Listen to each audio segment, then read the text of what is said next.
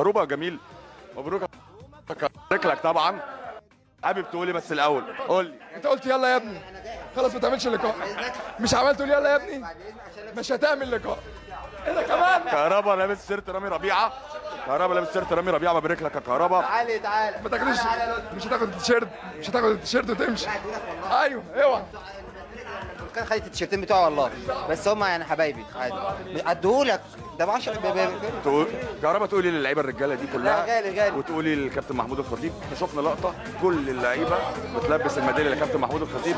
وأنت كان ليك حضن كده جامد قوي مع كابتن الخطيب. حابب تقول يا كهربا للعيبة الرجالة وعلى بطوله السوبر والله يمكن آه، الحمد لله آه، يعني الحمد لله طبعا على بطوله السوبر طبعا النادي الأهلي وجماهير النادي الأهلي طبعا. يعني اللعيبة كلها رجالة ما شاء الله آه، يمكن إحنا بقالنا معسكر طويل مع بعض يمكن اللعيبة كلها اتعادت إن إحنا ناخد السوبر يعني ما شاء الله عليهم بشكرهم كلهم آه، على أداء النهارده والروح الجميلة ديت وبشكر اللعيبة اللي بره اللي اللي سكواد على الروح الجميلة ديت اللي هم كانوا ظهرنا قبل الماتش وبعد الماتش مع بعض.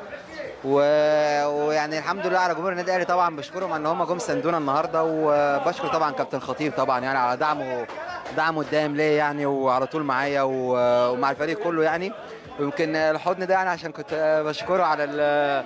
كان مديني اداني مكافأة إجادة يعني اليومين اللي فاتت دول بعد التمارين عشان يعني الواحد كان بيتمرن كويس الحمد لله الفترة اللي فاتت كلها فناداني بعد التمرين وكلمني فقال لي ليك عندي مكافأة إجادة فبشكره بشكره جدا يعني عشان كده حضننا حضن ده الناس ما تعرفش وما شافتش كهربا الحقيقة في التدريبات أداء وروح وإخلاص. واضح إن كهربا مركز بشكل كبير جدا. الفرصة هتيجي كهربا ربنا بيكرمك فيها. والفرصة جات لك النهارده. أنت عملت واحدة كده لو كانت جت كانت كسرت الدنيا. الحمد لله الحمد لله. طبعا يعني ده توفيق عند ربنا وكرم والواحد بيتعب وبيجتهد و ويعني ان شاء الله ربنا يكون معاه الفترة الجاية. والواحد طبعا يعني أي حد يلعب الواحد جاهز في أي وقت الواحد في النادي الأهلي يعني النادي الأهلي كله يعني الواحد ما بيبصش لنفسه بس النادي الأهلي كله نجوم اللعيبة كلها النهارده خدنا السوبر آه، الفريق كله خد السوبر مش لعيب معين يمكن الواحد مركز بشكل كويس.